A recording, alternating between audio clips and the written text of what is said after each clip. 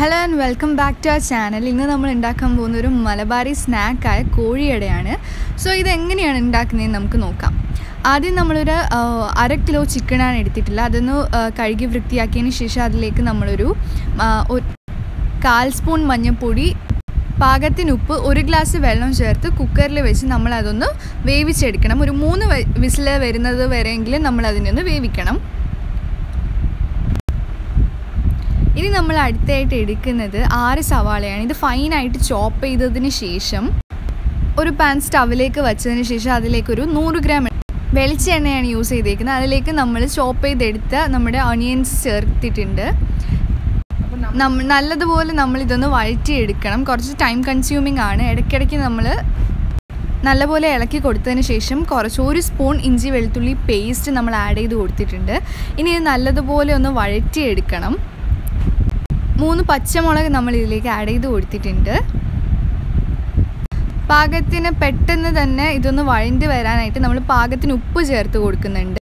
ഇനി ഇത് വഴണ്ട് വരുന്ന സമയത്തിലേക്ക് നമ്മുടെ കുക്ക് ചെയ്യാൻ വെച്ച ചിക്കൻ വെന്തിട്ടുണ്ടാവും. അപ്പോഴത്തേക്കും അത് ബോൺലെസ് ആക്കിയതിന് ശേഷം നല്ല ഫൈനായിട്ട് ക്രഷ് ചെയ്തെടുക്കണം. ഈ ഒരു പരുവാണ് ഈ കാണുന്നത് പോലത്തെ ഒരു പരുവത്തിൽ നമ്മൾ ക്രഷ് ചെയ്തെടുക്കണം. ക്രഷ് ചെയ്തെടുത്ത ഉടനെ നമ്മുടെ സവാളയായിട്ടുള്ള മസാലയിലേക്ക് അത് ചേർത്തതിന് ശേഷം കാശ്മീരി മുളക് പൊടിയും മല്ലിപ്പൊടിയും ഓരോ സ്പൂൺ വീതവും അര സ്പൂൺ വെച്ച് കുരുമുളക് പൊടിയും ഗരം മസാലയും മഞ്ഞൾപ്പൊടിയും കൂടെ ചേർത്തതിന് ശേഷം വീണ്ടും നമ്മൾ ഈ മസാല നല്ലപോലെ വഴറ്റിയെടുക്കുവാണ്. നല്ലതുപോലെ തന്നെ കൈകൊണ്ട് സ്റ്റിർ ചെയ്ത് കൊടുക്കണം ഇതിലേക്ക്. കറിവേപ്പില ആഡ് ചെയ്തിട്ടുണ്ട് ഇതിൽ പിന്നെ ഇടയ്ക്കിടയ്ക്ക് നമ്മൾ ഓയിൽ ആഡ് ചെയ്ത് കൊടുത്തിട്ടില്ലെങ്കിൽ അത് അടിയിൽ പിടിക്കാൻ ചാൻസ് ഉണ്ട്. അപ്പോൾ കുറച്ച് കുറച്ചായിട്ട് ഓയിൽ ആഡ് ചെയ്ത് കൊടുത്തിട്ട് നമ്മൾ നല്ലതുപോലെ ക്രിസ്പി സ്റ്റേജ് ആവുന്നത് വരെ നമ്മൾ അതിനൊന്ന് മൂപ്പിച്ചെടുക്കണം. കണ്ടിന്യൂസ് ആയിട്ട് നമ്മൾ സ്റ്റിർ ചെയ്ത് കൊടുക്കുകയും വേണം. ഓയിൽ ആഡ് ചെയ്ത് കൊണ്ട് കൊടുത്തോണ്ടിരിക്കുകയും വേണം.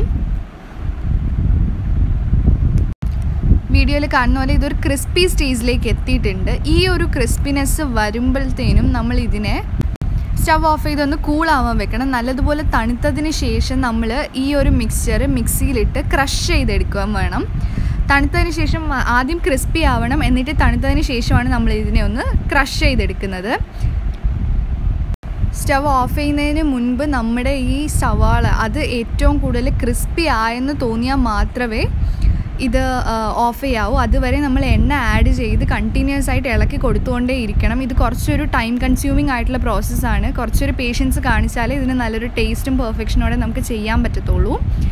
അപ്പോഴത്തേക്കും ഇനി ഈ വീഡിയോയിൽ കാണുന്ന പോലെ നമ്മൾ ഫൈനായിട്ട് ക്രഷ് ചെയ്തെടുത്തിട്ടുണ്ട്. ഇനി അടുത്ത് നമുക്ക് ഡോ ഉണ്ടാക്കാം നമ്മുടെ മാവ്. അതിന് വേണ്ടിയിട്ട് അതിന് വേണ്ടിയിട്ട് നമ്മൾ ഒരു അപ്രോക്സിമേറ്റ്ലി ഒരു കപ്പ് മൈദ മാവാണ് എടുത്തേക്കുന്നത്. ഈ ഒരു കപ്പ് മൈദ മാവിലേക്ക് നമുക്ക് ഈ ഒരു പൊരിച്ച് വരുമ്പോൾ ക്രിസ്പിനെസ് കിട്ടാനായിട്ട് നമ്മൾ രണ്ട് സ്പൂൺ നെയ്യ് ചേർക്കുന്നുണ്ട്. ഈ രണ്ട് സ്പൂൺ നെയ്യും പാകത്തിന് ഉപ്പും കൂടെ ചേർത്താണ് നമ്മൾ ഈ ഡോ കുഴച്ചെടുക്കുന്നത്. നല്ലപോലെ തന്നെ ഒന്ന് നീഡ് ചെയ്തെടുക്കണം. ആദ്യം നമ്മൾ കയ്യിലാവാണ്ടിരിക്കാൻ ഇതൊന്ന് നല്ലതുപോലെ ഒന്ന് കുഴച്ചെടുത്തതിന് ശേഷം നമ്മളൊരു പത്ത് മിനിറ്റ് ഇതൊന്ന് റെസ്റ്റ് ചെയ്യാൻ വെക്കണം. പത്ത് മിനിറ്റ് ഡോ റെസ്റ്റ് ചെയ്യാൻ വെക്കുമ്പോൾ അത് നല്ലപോലെ ഒന്ന് സ്മൂത്ത് ആവും. സ്മൂത്ത് ആയതിന് ശേഷം ഒരു ടെൻ മിനിറ്റ്സ് കഴിഞ്ഞിട്ട് നമുക്ക് ആ ഡോ എടുത്തതിന് ശേഷം നല്ലതുപോലെ തിന്നായിട്ട് പരത്തി ഒരു ഗ്ലാസ് വെച്ച് നമുക്കതിന് റൗണ്ട് ഷേപ്പിൽ കട്ട് ചെയ്തെടുക്കാം. അതിനുശേഷം നമ്മൾ ഈ കാണുന്ന പോലെ ഈ പ്രോസസ്സിലൂടെ ഇത് ഫില്ല് ചെയ്യുന്നത്? ആദ്യം ആ കട്ട് ചെയ്തെടുത്ത മാവിലേക്ക് നമ്മുടെ മസാല ചേർത്ത് കൊടുത്തതിന് ശേഷം അത് ഇതുപോലെ ഒന്ന് ഒന്ന് ഒട്ടിച്ചെടുത്തതിന് ശേഷം അതൊന്ന് മടക്കി വെക്കുന്ന രീതിയുണ്ട്. അതൊന്ന് സൂക്ഷിച്ച് നോക്കുക. ആ ഒരു രീതിക്കാണ് നമ്മൾ കോഴിയാടം മടക്കി എടുക്കുന്നത് ആദ്യം രണ്ട് സൈഡും നല്ലതുപോലെ ഒന്ന് ചേർത്ത് ഒട്ടിച്ചതിന് ശേഷം നമ്മുടെ രണ്ട് വിരൽ ഉപയോഗിച്ച് നമ്മളതൊന്ന് ഒരു പ്രത്യേക രീതിയിൽ അത് മടക്കിയെടുക്കുന്നത്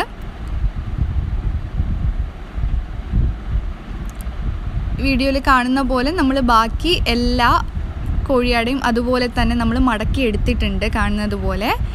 അപ്പോൾ നമ്മുടെ ലാസ്റ്റ് സ്റ്റെപ്പ് എന്ന് പറയുന്നത് നമ്മൾ ആവശ്യത്തിന് എണ്ണ എടുത്തതിന് ശേഷം ഇതൊന്ന് ഡീപ്പ് ഫ്രൈ ചെയ്തെടുക്കണം. അപ്പം മീഡിയം ഫ്ലെയിമിൽ നമ്മൾ ഇത് നല്ലതുപോലെ ഒന്ന് ഡീപ്പ് ഫ്രൈ ചെയ്തെടുക്കണം. സോ ഇത് എല്ലാവരും ഒന്ന് ട്രൈ ചെയ്ത് നോക്കണം. ഈ രണ്ട് സൈഡും നമ്മൾ തിരിച്ചു മറിച്ചു അതൊരു ഗോൾഡൻ ബ്രൗണിഷ് കളർ ആകുമ്പോഴത്തേക്ക് നമ്മൾ അത് എടുത്ത് മാറ്റണം. ഇതൊന്ന് തണുത്തതിന് ശേഷം മാത്രം നമ്മൾ എയർ ടൈറ്റ് കണ്ടെയ്നറിൽ നമ്മൾ സ്റ്റോർ ചെയ്യുക സോ എല്ലാവരും